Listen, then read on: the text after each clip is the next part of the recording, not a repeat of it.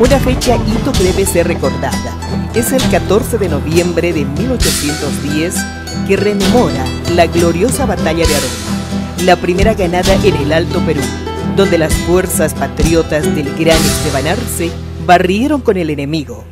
Gracias a esa victoria nacería posteriormente el Ejército Nacional.